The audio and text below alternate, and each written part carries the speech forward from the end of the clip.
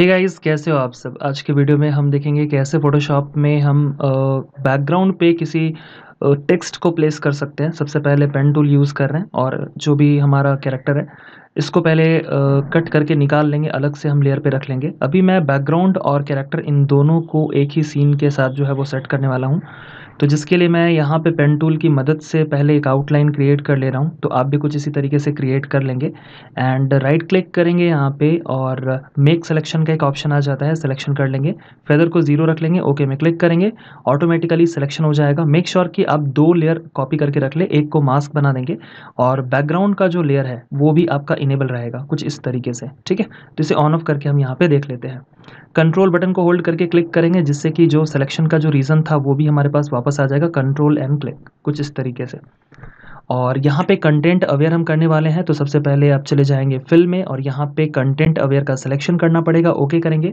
तो जो फोटोशॉप का एआई है, वो ऑटोमेटिकली यहाँ पे उस बैकग्राउंड को रिप्लेस करेगा। कई बार ये पूरी तरह से हट जाता है, अगर ये नहीं हटेगा तो पैच टूल यूज़ कर लेंगे। और पैच टूल की मदद से जो है, हम यहाँ पे इस बैकग्राउंड को ज़्यादा बेहतर रिफाइन कर सकते हैं। जो कंटेंट आपने थंबनेल में देखा है, वो चीज़ अभी हम लोग क्रिएट करेंगे। इस तरीके से आप अपने वीडियोज़ के लिए या फिर आप कहीं पर भी किसी डिज़ाइंस में पोस्टर्स वगैरह में इस तरह से बहुत ही अच्छा सा इफ़ेक्ट दे सकता है, जिसमें जो कैरेक्टर है, उसके बैकग्राउंड में टेक्स्ट को हम लोग प्लेस कर लेंगे। कोई डिज़ाइन कोई ग्राफिक चाहते हैं, कोई लोगो चाहते हैं, उसे भी आप बैकग्राउंड में बिल्कुल इसी मेथड से प्लेस कर लेंगे। वीडियो आप सभी के लिए बहुत ज़्यादा इंपॉर्टेंट है।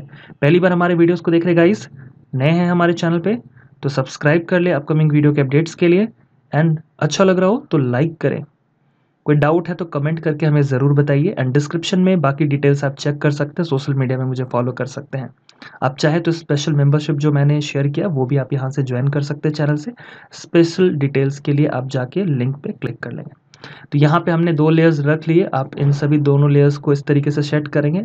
अभी मैं एक फुल एचडी साइज़ का जो पेज मैंने रखा है, वहाँ पर मैं इसे लेके आ जा रहा हूँ। डिस्क्रिप्शन में मैं आपको लिंक प्रोवाइड कर दूँगा, जाके इस इमेज को डाउनलोड कर सकते हैं। तो क्या टेक्स्ट होगा? जैसे कि ड्रीम लाइफ मैं यहाँ पे रख रहा हूँ और सिलेक्शन कर लेंगे स्केल कर लेंगे यूनिफॉर्म स्केल आप करेंगे और यूनिफॉर्म स्केल करने के बाद बैकग्राउंड में प्रॉपर प्लेस कर लेंगे। तो जो कैरेक्टर है, दो चीज़ें आपने यहाँ पे सीखनी है। पहली चीज़ है कि किस तरीके से हम लोग बैकग्राउंड से जो कैरेक्टर से अलग करते हैं और उसके बाद आप जाके टेक्स्ट जो है इसे प्रॉपर अच्छे से रख सकते हैं। किस तरह का टेक्स्ट चाहिए यानी फॉन्ट का स्टाइल क्या चाहिए, वो आप अपने अकॉर्डिंग रख लेंगे, जैसा आपका रिक्वायरमेंट है। और यहाँ पे इसे प्रॉपर मैं स्केल करके प्लेस कर ले रहा हूँ कुछ इस तरीके से। और ये बहुत ही ब्यूटीफुल सा लुक दे देता है। साथ ही साथ हम लोग कलर करेक्शन भी यहाँ पे सीख लेंगे कि कैसे कलर करेक्शन करना है। और ज़्यादा डिटेल में मैं नहीं बताऊँगा बट जो बेसिक करेक्शंस होते हैं, वो डेफिनेटली हम लोग यहाँ पे करने वाले हैं। दोनों का सिलेक्शन कर लेंगे। गाइज़ मल्टीपल लेयर के सिलेक्शन के लिए सिर्फ़ बटन को होल्ड करके आप कर सकते हैं। एंड यहाँ पे इसके पोजिशन को सेट कर लेंगे। यहाँ पे लेवल का एक ऑप्शन आ जाता है। लेवल में ये जो है और ये लाइटनेस को कंट्रोल करता है और ये मीट टोन्स है।